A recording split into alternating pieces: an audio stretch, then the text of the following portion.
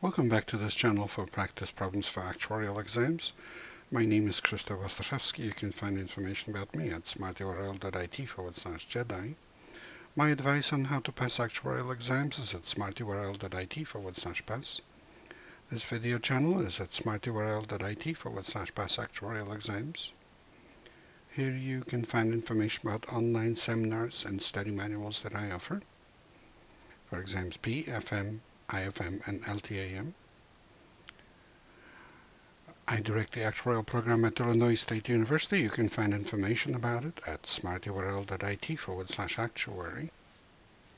If you would like to offer a tax-deductible, at least to the extent allowed by law, donation to support our students, please go to smarturl.it forward slash help ISU actuary. Here's a problem for today for exam FM on financial mathematics.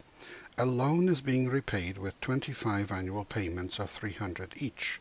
With the 10th payment, the borrower pays an extra 1000 and then repays the balance over 10 years for the revised annual payment. The effective rate of interest is 8%.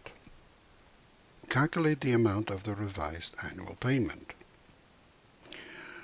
Here's the solution. After the regular 10th payment, the remaining balance of the loan is the present value of the remaining payments, which is 300 times A angle 15 at 8%. And that's approximately 2,567.84. Since 1,000 of the principal balance is repaid, the balance drops to 1,567.84, and the new payment is 1,567.84 divided by A angle 10, um, at 8%. That's approximately 233.65, which is answer C. Note that the um, new repayment schedule um, is over 10 years instead of originally remaining 15. That's why this is A angle 10.